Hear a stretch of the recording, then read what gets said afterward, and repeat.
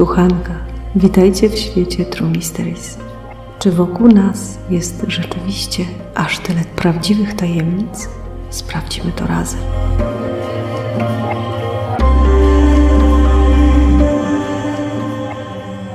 Szybujący nóż. Moja historia z dreszczykiem wydarzyła się dwie dekady temu. Miałam wtedy 8 lat i pierwszy tydzień ferii zimowych spędzałam wraz z o rok starszym kuzynem u naszych dziadków. Mieszkanie dziadków znajduje się w bloku, choć to raczej taki dom wielorodzinny, dwa poziomy, po dwa mieszkania na każdym z nich. W tym czasie w mieszkaniu obok mieszkała wdowa, nazwijmy ją Kowalska. Jej mąż odszedł kilka tygodni wcześniej. To była środa popielcowa, więc moi dziadkowie chcieli wybrać się na wieczorną mszę. Nie chcieli jednak brać mnie ze sobą, ani mnie, ani kuzyna, bo z miejsca, w którym mieszkają, do najbliższego kościoła jest jakieś trzy kilometry, a oni sami tę drogę z racji braku samochodu pokonywali rowerami. Pogoda nie rozpieszczała, więc przyjęliśmy tę wiadomość z wdzięcznością. Dziadkowie wyszli, my, nieco przerażeni perspektywą zostania sam na sam w mieszkaniu po zmroku, zamknęliśmy się w jednym z pokoi i graliśmy w jakieś planszówki. Robiliśmy dobrą minę do złej gry. Żadne z nas nie chciało stracić honoru i przyznać się przed tym drugim, że się jednak troszkę boi. Kiedy byliśmy w trakcie kolejnej partii Chińczyka, usłyszeliśmy z kuchni jakiś łoskot, jakby coś upadło na podłogę. Kuzyn rzucił tylko tekstem, że to na pewno Kowalski przyszedł mnie straszyć. Roześmiałam się, jakby opowiedział dobry żart, jednak w środku byłam przerażona jak nigdy. Żadne z nas nie kwapiło się do sprawdzenia, co to mogło być. Próbowałam tłumaczyć to sobie, że na pewno sąsiedzi z dołu coś robią. Po dłuższej chwili wyszliśmy z pokoju do kuchni, już nie pamiętam po co, i wtedy dostaliśmy odpowiedź na nurtujące nas tego wieczoru pytanie, co to był za huk. Jedna z szuflad kuchennych była wysunięta do samego końca, a na podłodze leżał duży nóż, który najwyraźniej jakimś cudem z tej szuflady wypadł. Nie było możliwości, żeby pod wpływem jakichś drgań budynku czy czegoś w tym rodzaju szuflada się wysunęła, a z jej wnętrza wyskoczył nóż. Nic takiego nie zaobserwowaliśmy. Pomimo upływu dwudziestu lat mam dreszcze, kiedy przypomnę sobie tę sytuację, bo nie potrafię, choć staram się jak mogę, wyjaśnić tego w sposób racjonalny. Tym bardziej, że jak się po latach dowiedziałam, w mieszkaniu Kowalskich czasami działy się różne dziwne i nie dające się prosto wytłumaczyć rzeczy. Emilia. Dziadek wiedział, co ukoi mój żal. Ta historia może nie jest taka niesamowita, ale pozwalam sobie w nią wierzyć. Od zawsze kochałam koty. Zawsze, kiedy widzę jakiegoś przedstawiciela tego gatunku, po prostu poprawia mi się humor. Kiedy wychodzę na jakiś spacer, rozglądam się za mruczkami. Ot, takie małe, niegroźne szaleństwo. Generalnie cała moja rodzina wie, jak ważną częścią życia są dla mnie te zwierzęta, a szczególnie moja osobista koteczka. Kicia pewnego dnia poważnie zachorowała, ale na szczęście udało się ją uratować. Wiedział o tym mój dziadek i za każdym razem od jej choroby, kiedy się widzieliśmy, pytał o jej zdrowie. Niestety, mój kochany dziadziu odszedł początkiem tego roku. Bardzo to przeżyłam. Był naprawdę cudownym człowiekiem i mimo, że długo chorował, a ostatnie miesiące przed śmiercią powoli gasł nam w oczach, wiadomość o jego odejściu była dla mnie szokiem. Nadszedł dzień pogrzebu. Przyjechaliśmy z mężem w moje rodzinne strony, by ostatni raz pożegnać się z dziadziem. Udaliśmy się w stronę kościoła. Już od wyjścia z domu moich rodziców nie mogłam opanować płaczu. Za każdym razem, kiedy targnął mną nagły szloch z za jakiegoś domu czy krzaczka, wyłaniały się puchate, piękne kotki. Nigdy tylu ich nie widziałam na tej trasie, a ich widok jakoś tak odrobinę osładzał gorycz tego dnia. Po ceremonii wpadliśmy jeszcze na chwilę do moich rodziców i wracaliśmy do siebie. I znowu, w drodze powrotnej, kiedy chciało mi się płakać, zupełnie znikąd pojawiał się jakiś mruczek. Parę tygodni później odwiedziliśmy cmentarz. Zupełnie się rozkleiłam, opuszczając nekropolię, bo wyrwa w sercu przecież ciągle jeszcze była świeża. I znów sytuacja się powtórzyła. Nagły szloch i kotek w zasięgu wzroku. Później zdarzało mi się to jeszcze kilka razy. Może to głupie, szczególnie, że nie jestem już małym dzieckiem, ale ogarnęła mnie dziwna pewność, że te wszystkie koteczki są w jakiś sposób wysłane przez mojego dziadzia na pocieszenie i znak, że dalej gdzieś jest, patrzy na mnie i troszczy się o mnie. Albo to tylko czysty przypadek i zbyt bujna wyobraźnia, ale ja lubię myśleć o tym w ten sposób, że to dziadek przynosi mi to swego rodzaju ukojenie. Emilia. Mamo, pani tu stoi. Żeby lepiej zrozumieć moją historię, muszę opisać sytuację i warunki, w jakich żyje moja rodzina. Od pokoleń do mojej rodziny należy kamienica. Mamy w niej cztery mieszkania, piwnice i strych. Nie wynajmujemy ich obcym i mieszkamy tu po prostu wszyscy razem. Historia zaczyna się od odejścia mojej ukochanej babci. Nie myślałam o tym od dłuższego czasu, jednak niedawne wydarzenia skłoniły mnie do refleksji. Z moją babcią byłam bardzo zżyta, trzymałyśmy się blisko. Po moich narodzinach mama szybko wróciła do pracy, a ja zostałam właśnie pod opieką babci. Można powiedzieć, że mnie wychowała.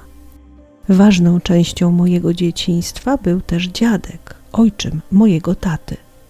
Nie było to małżeństwo idealne. Dziadek nadużywał czasem alkoholu i ogólnie dość źle traktował babcię.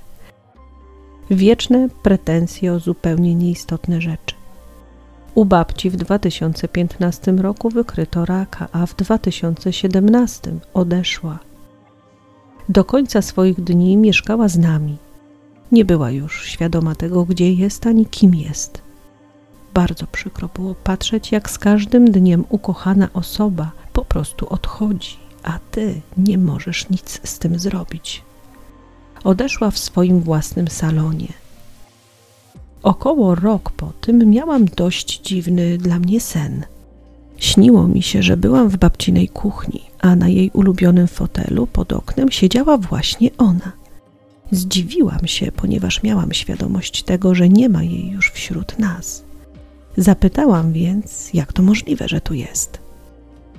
Ona odpowiedziała, że wie, że nie ma jej już na moim świecie, ale żebym opowiedziała jej o moim życiu i czy wszystko u mnie dobrze. Bardzo dobrze wspominam ten sen, jednak wywołał u mnie takie dziwne uczucie.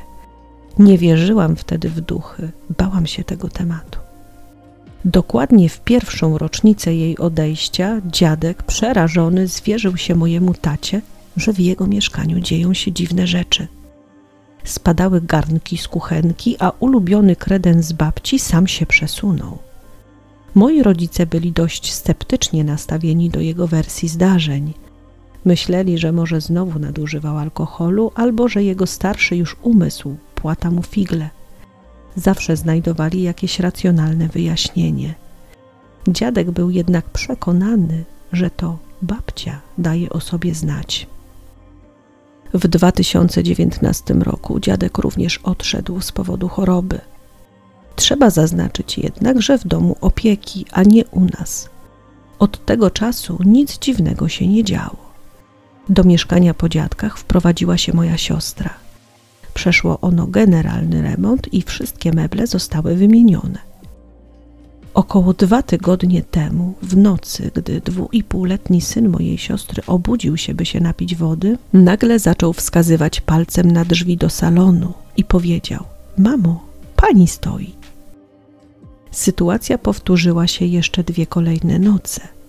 Kilka dni później siedzieliśmy razem z moim rodzeństwem wieczorem przy piwie. Brat poszedł na górę do swojego mieszkania, żeby położyć syna. Wychodząc, zostawił mu zapalone lampki LED na wypadek, gdyby się obudził. Wrócił do nas, a po jakimś czasie poszedł sprawdzić, czy mały spokojnie śpi.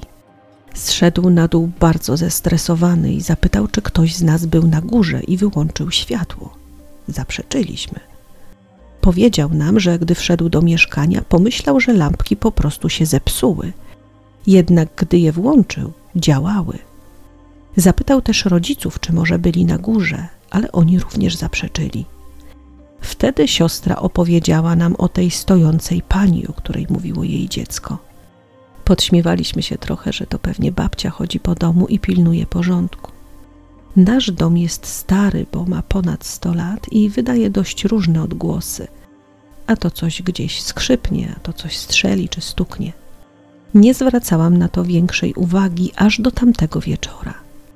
Zaczęłam się zastanawiać, czy może duch babci wciąż jest w domu i spokojnie egzystuje między nami. Póki co jednak nic nadzwyczajnego się nie wydarzyło, ale zobaczymy, co przyniesie los. Kasia. Sen o Danielu. Wprowadziłam się do wiejskiego bloku. Z okna kuchni codziennie widziałam domek, którego właściciele zatrudniali do drobnych prac czterdziestoletniego Daniela. Każdego dnia widziałam, jak nosił drewno, kosił trawę czy czyścił kojce psów. Pewnej nocy obudził mnie koszmar. Śniło mi się, że Daniel leży w czerwonej kałuży przy wejściu do mojej klatki schodowej. Ludzie krzyczeli, że to mój sąsiad, Kamil, zaatakował go nożem i że Daniel odszedł. Wyraźnie widziałam, że leży z rozłożonymi rękami, ma uchylone usta, czarne paznokcie i całą czerwoną koszulę. Wiedziałam, że sprawca wyrzucił nóż w krzaki za garażami. Rano, jeszcze na wpół senna, wyjrzałam przez okno w kuchni. Uderzył mnie widok Daniela na podwórku naprzeciwko. Sen był tak realistyczny, że byłam w tym momencie bardzo zdziwiona, że chłopak żyje. Dwa tygodnie później wybieraliśmy się z mężem na wakacje w góry. O 4.30 nad ranem otworzyliśmy drzwi i zobaczyliśmy Daniela w czerwonej kałuży. Leżał z rozłożonymi rękami, czarnymi paznokciami, uchylonymi ustami i całej czerwonej koszulce. Dokładnie jak w moim śnie. Jeszcze większy szok przeżyliśmy, kiedy okazało się, że Daniel został zaatakowany nożem przez mojego sąsiada, Kamila. A policja znalazła nóż w krzakach za garażami. Podwójny sen. Mam przyjaciółkę, z którą spędzam każdą wolną chwilę. Któregoś dnia spotkałyśmy się i jednocześnie, jakby na trzy, cztery, powiedziałyśmy, ale miałam dziwny sen. Pierwsza zaczęłam opowiadać, że w alei obok mojego domu, pomiędzy drzewami, zawieszona była stalowa lina, a na niej wisiała duża, ciemno ubrana kukła. Jakież było moje zdziwienie, kiedy Ola przerwała mi tę opowieść i powiedziała, że widziała w nocy dokładnie to samo, że obie stałyśmy pod tą kukłą i patrzyłyśmy w górę. Dopowiedziała masę szczegółów, które zgadzały się z tym, co i mnie się śniło tej nocy. Śniłyśmy ten sam sen. Ania. Pętla czasu w Rytwianach. W Rytwianach jest ruina zamku. Zamek, rozbierany przez okolicznych mieszkańców na budowę domów i dróg, z pewnością zniknąłby zupełnie, gdyby ktoś tej rozbiórki nie powstrzymał. Zdarzało się, że wieczorami, jesienią, gdy ktoś znalazł się w pobliżu tego miejsca, mógł zobaczyć zamek w takim stanie, jak wyglądał przed zburzeniem – w czasie I światowego konfliktu zbrojnego w 1915 patrol polskich ułanów podjechał na koniach pod zamek. Dowódca patrolu pomyślał, że można się na chwilę na zamku zatrzymać, odpocząć, a może i czegoś dowiedzieć. Ciężką kołatką załomotano do bramy, ale odpowiedzi nie było. Cisza. Nikt nie otwiera, nikt nie woła, nie biegnie. Widzą, że w oknie świeci się światło, więc zamek musi być zamieszkały. Ale cóż to za niegościnny gospodarz tu mieszka? Zniesmaczeni odjechali i w sztabie złożyli meldunek o zamku. Kilka dni później, gdy przejeżdżali tamtędy, zobaczyli, że stoi tam jeden strzęp ściany, kompletnie zarośnięty dziką różą i tarniną. Zdarzenie to opisano w meldunkach pierwszego pułku ułanów pierwszej brygady Legionów Polskich.